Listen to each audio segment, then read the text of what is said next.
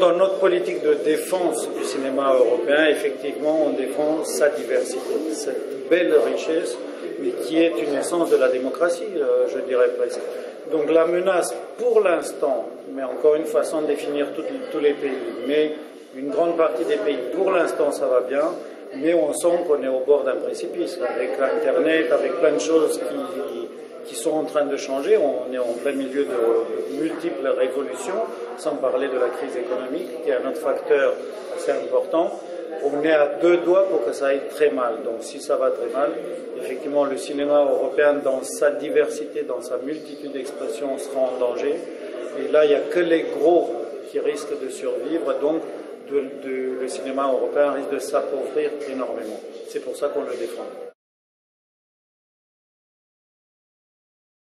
Moi, je crois que c'est le rôle d'un auteur, mais maintenant je comprends que certains ne sont pas doués ou n'ont pas envie de le faire. Pour moi, personnellement, et peut-être parce que j'ai échappé à une dictature, je crois qu'il est de mon devoir aussi de donner et pas seulement de prendre. Donc je suis très content quand j'arrive à financer mes films et que les financiers puissent me donner de l'argent et que je puisse créer, je ne peux pas vivre sans penser à ceux qui peut-être ne peuvent pas avoir ces financements et je considère que c'est de mon rôle et de mes camarades de créer les conditions idéales pour que tout artiste, en tout cas à mon niveau, tout cinéaste en Europe, puisse exprimer son point de vue sur le monde, sur sa société, sur sa culture. Donc pour moi, c'est un devoir. Maintenant, je ne vais pas condamner ceux qui ne le font pas. Moi je crois qu'aujourd'hui c'est effectivement un combat parce qu'on entend un peu plein de choses sur ce qu'on appelle le droit d'auteur en Europe. Euh, effectivement, il y a une demande qui me semble légitime, c'est que les œuvres circulent d'une manière plus facile et surtout sur Internet. Maintenant, la question, c'est comment justement protéger ces œuvres pour que financièrement elles soient viables, pour qu'on puisse en faire d'autres, mais qu'en même temps on puisse les apporter au plus grand nombre.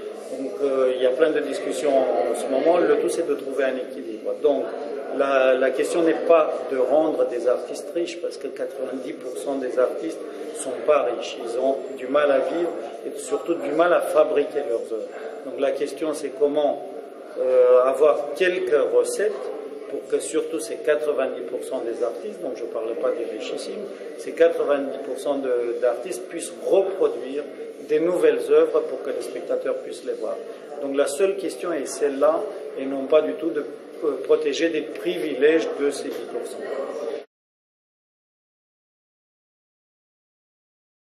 Moi, je crois que la, question, pareil, elle est un tout petit peu complexe, c'est-à-dire d'un côté, effectivement, il faut enrichir ce qu'on appelle l'offre légale, mais je constate qu'elle est de plus en plus riche quand même. Après, il y a un autre problème, c'est ce qu'on appelle les moteurs de recherche. Effectivement, parfois, il est très très difficile de trouver un film parce qu'on ne sait pas sur quel moteur de recherche le chercher.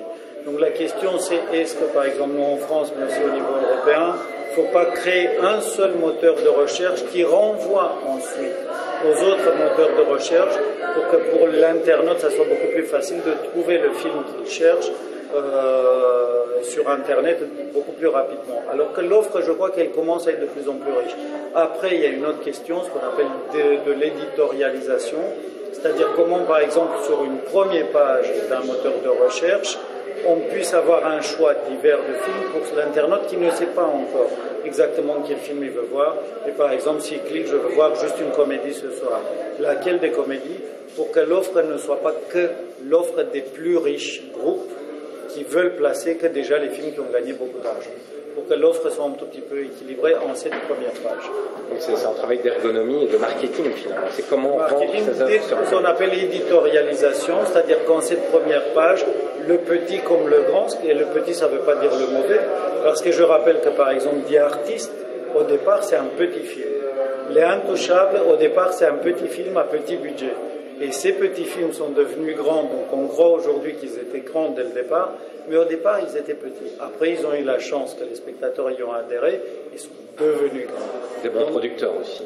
Il y avait des, bien sûr un réalisateur et un scénariste d'abord, après des acteurs, des producteurs, d'autres intermédiaires, ceux qui vendaient le film à l'étranger, euh, ceux qui l'ont distribué aux États-Unis, mais au départ, c'était un petit film, entre guillemets, petit film européen muet en noir et blanc qui en voulait Personne.